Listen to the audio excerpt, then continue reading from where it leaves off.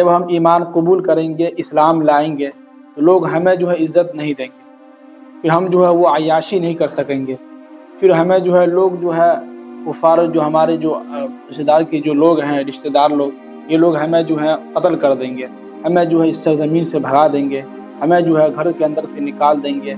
इतनी सारी चीज़ें हमारे अंदर डर है कि अगर हम आपकी पैरवी कर लें, अगर हम मुसलमान बन जाते हैं तो हमारे साथ ये सारी चीज़ें होंगी लोग हमारी इज़्ज़त नहीं करेंगे, फिर हमारा जो है लोग जो हमको सलाम भी नहीं करेंगे, वो हमको पूछेगा भी नहीं।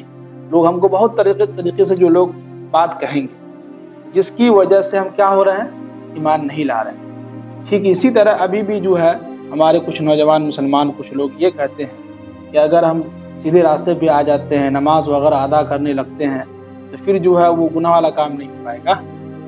लेकिन कुछ कहते हैं नहीं कि अगर नमाज़ वगैरह पढ़ने लगेंगे, नमाजी बन जाएँगे फिर जो है मोबाइल वगैरह में जो देखना होता है, फिर जो घूमना फिरना अयाशी आर्केस्ट्रा वगैरह, कहाँ देख पाएँगे? ये सारी चीज़ें क्या होगी? छूट जाएगा। जिसकी वजह से जो है कभी कभी शैतान उसको भागाता रही क्या फ़ायदा? बाद में कर लेना। ऐसे करते करते मालूम चला कि खबर के अंदर जाके सो गए। एक दिन मालूम चला कि उनकी खुद जनाजे की नमाज़ हो गई। वही आज भी वही हाल है।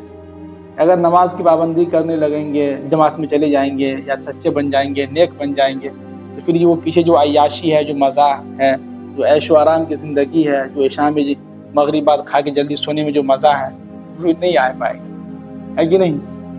कितने सारे लोग जो है छः बजे, सात बजे ही खा पी के सो जाते हैं। जबकि ईशा की नमाज़ इतनी अहम फजीलत भी ठंडी के मौसम में बहुत भारी सवाब है। लेकिन सोचता है कि अगर नमाज़ के लिए जाएँगे तो फिर बिस्तर छूट जाएगा। ये सारी बातें थी। उसका जवाब अल्लाह ताला आगे दे रहे हैं।